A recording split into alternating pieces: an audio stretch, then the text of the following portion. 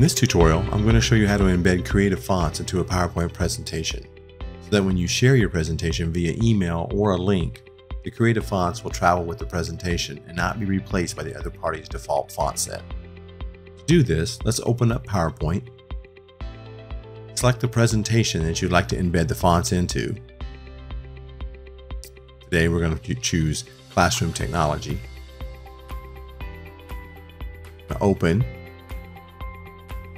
once the presentation opens, you're going to see my title slide, and I have a creative font called Cooper. Now, Cooper resides on my font set on my system.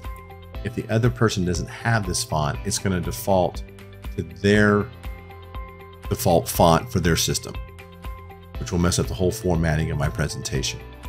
So let's embed, and it's really easy to do. We do this by going to PowerPoint, come down to Preferences, once Preferences opens up, you're going to see three sections, Authoring and Proofing Tools, Output and Sharing, and Personal Settings. We're concerned with Output and Sharing, and we're going to click on the Save icon. Once the Save properties open up, you're going to see two categories here, Save Options and Font Embedding. This is what we're going to be using. We want to make sure that the presentation that you want to embed the fonts in is listed first in the dropdown and you should only have one, but if you have more than one presentation open, you could have multiple in there. So we will make sure we have the correct presentation selected, then select embed fonts in the file.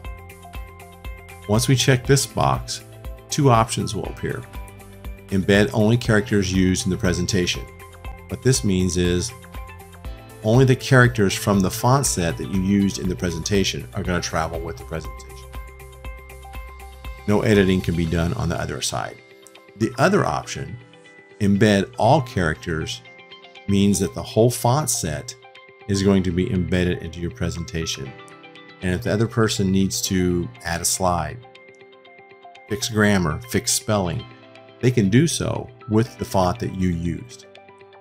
Today, we're just going to be concerned with embedding the font characters used in the presentation. Once you select that, select the red X, go up to File, down to Save, and then quit PowerPoint. You successfully saved the fonts inside of PowerPoint. Thanks for watching, and I hope you found this tutorial helpful.